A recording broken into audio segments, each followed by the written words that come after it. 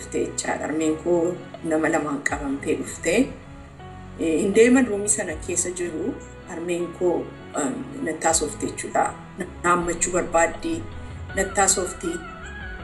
Ani hammachuus hin dandeenye taasa'uus hin dandeenye. Mimmaantu na qaba ture. Maaliif boossaadhaan jettee na gaafatti. Maaliif boossa gaafa seennaan jettu si yaadeen boo'a jechuullee sodaadhe yoon si yaadeen boo'a jedheeniini garaa seetu badaa ittiin tolu jedheen yaaddooftu jedhee yaadee umrii sanatti akka sana yaade jechuudha rispoonsibilitii irraan kan rispoonsibilitii natti dhaga'amu isaatu natti yaadatama. Obbolaa koo yaadeen jedheeni maal obbolaan kee nagaadha miti isaan biraa dhufta miti naan jette lakkii ani koo akkasitiin walqixxeettiin ture walqixxeettis dubbisuun dhufee jedheeni daqiiqaa waan akka kudhanii wahii ammas fuudhanii na biraa deeman.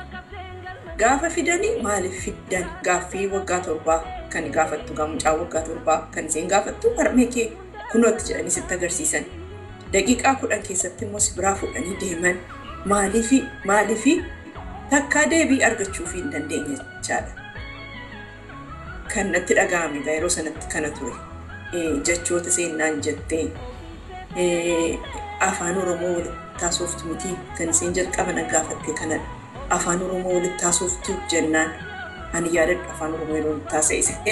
Amaaraan haasa'uu barbaannaan na jalaa diddee afaan Oromoo walitti taasoftu miti afaan Oromoo walitti taasa'a.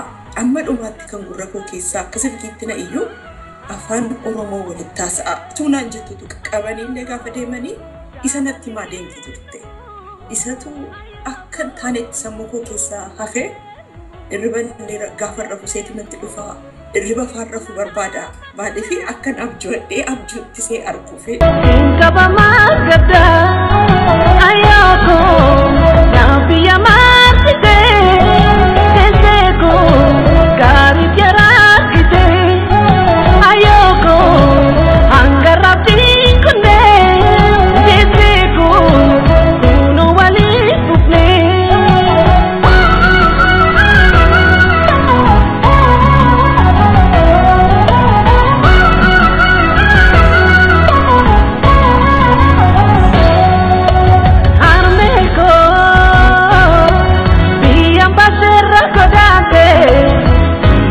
barra cubana.